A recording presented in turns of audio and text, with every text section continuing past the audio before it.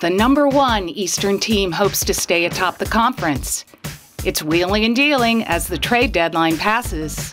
With less than a month left in the regular season, intensity is in every game. And right now on ECHL Week.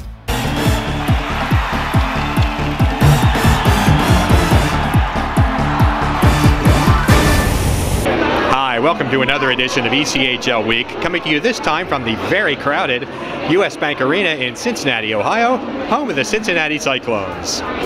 First in the Eastern Conference to reach 80 points, the Manchester Monarchs are shining in their debut ECHL season. With rookie coach Rich Seeley pushing the right buttons, fans of the New Hampshire team have been treated to a first place club for most of the season's second half on the strength of a 10 game point streak through most of January.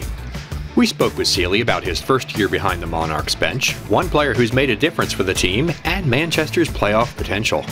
No, it's fun. It, it, it's it is a lot of work. Yeah, you're wearing a lot of different hats for sure, but um, you know, it, part of that, our success, our staff, uh, a big part of that. Um, we're you know fortunate if we had a, we had really nice facilities to work with and uh, and, a, and, a, winning tradition, um, and, and, we we've, we've, established a nice staff uh, here in Manchester that uh, you know that brings an expectation of hard work uh, from the guys and from themselves individually, and um, so far so good. You know, there's a lot of guys that I think have had put together uh, um, some some solid seasons thus far.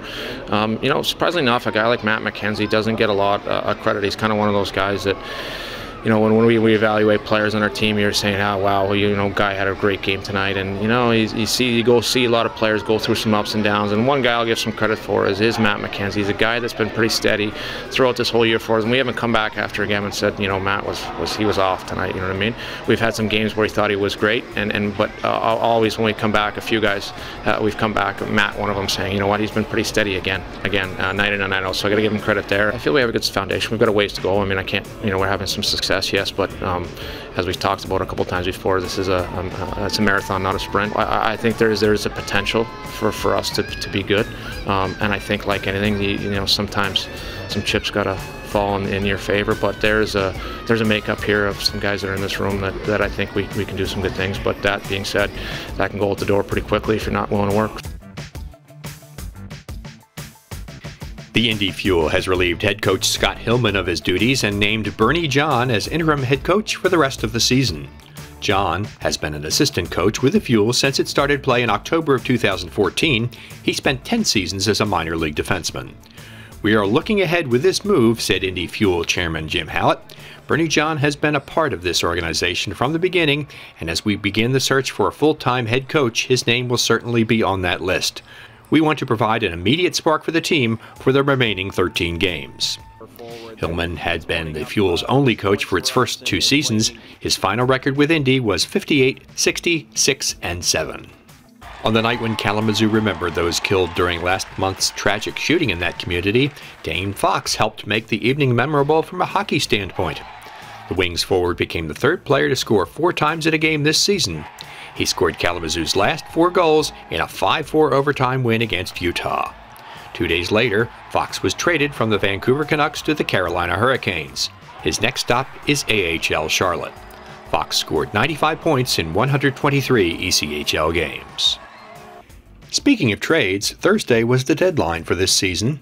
15 players changed teams in 10 deals leading up to the deadline.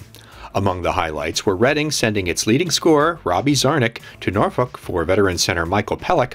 Also, former ECHL All Star Danick Gauthier was sent to Norfolk.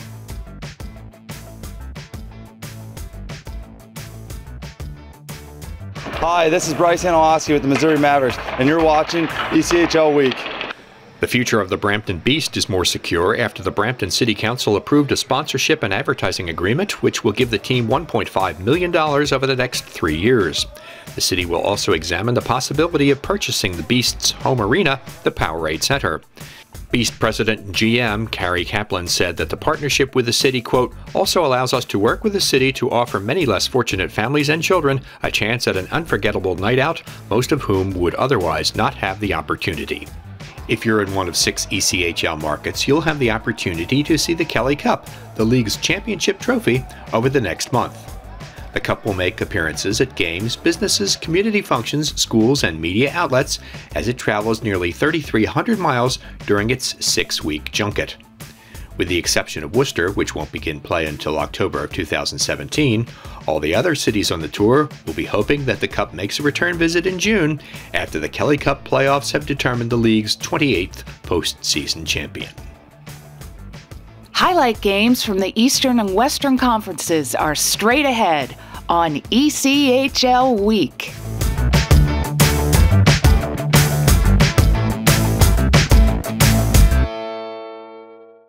Don't miss a minute of ECHL action.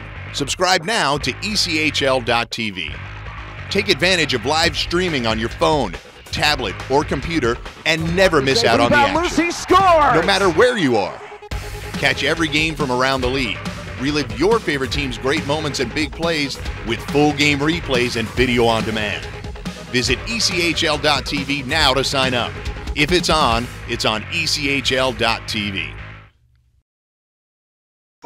This is the story of a boy who was very sensitive to lights and sounds. So he built secret hiding places where nothing could get in. The boy didn't like looking people in the eye. It made him feel uncomfortable.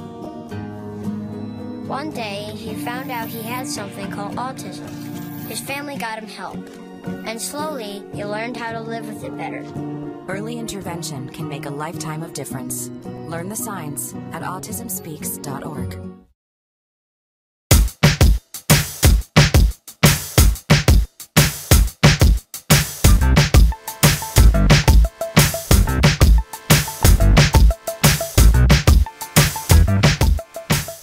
Mike Patrick of your Adirondack Thunder, and you can tweet me at at the real Turks 10.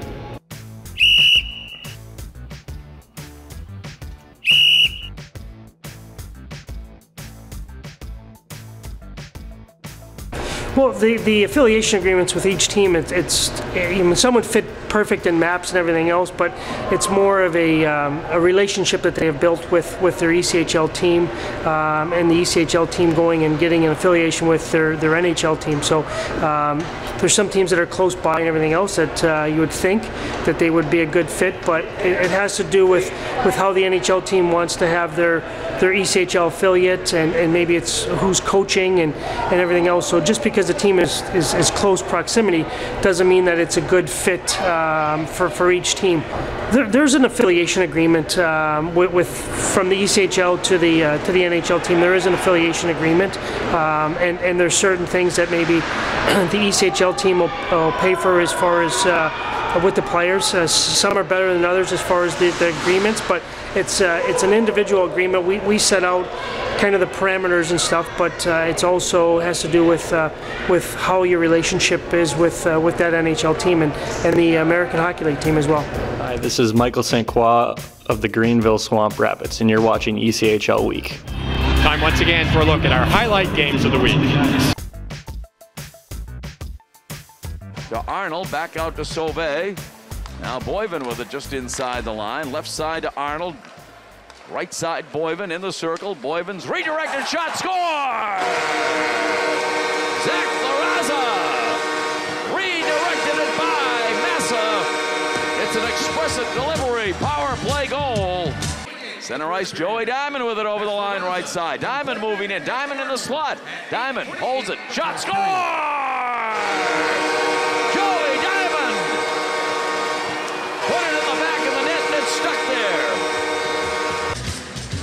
Wins the draw, shot by Rollick, a save, loose puck out in front, score! As Carr could not control it out after the initial shot by Rollick. Andrews out there for the Monarchs and Doug Carr, shot from the right wing circle, pass in front, shot, score! That took eight seconds, and Orlando has tied it up. In Lindberg with a left-handed shot, takes it wide to the right. Lindberg moving in, fakes backhander, and a score! Can he tie it? Antoine on the forehand, moving in, his shot saved by Massa, and the Solar Bears win this one 3 to 2.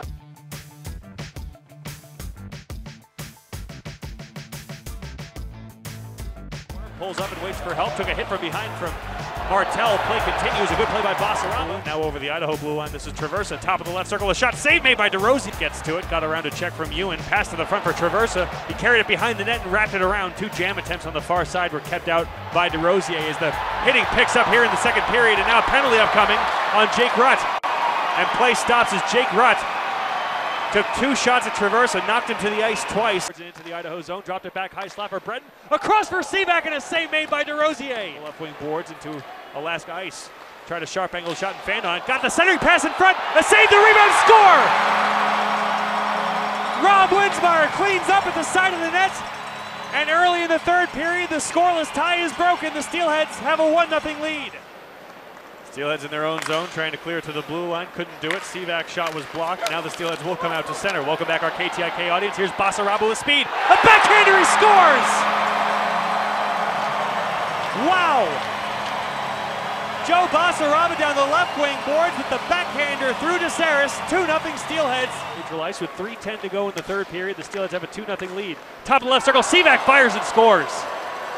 And Philip Desrosiers now undefeated in his last nine Steelhead starts, 7-0 2. And the Steelheads got another two big points over the Alaska Aces. That's it for another edition of ECHL Week. Twister and I say goodbye. Thanks for watching. We'll see you next time.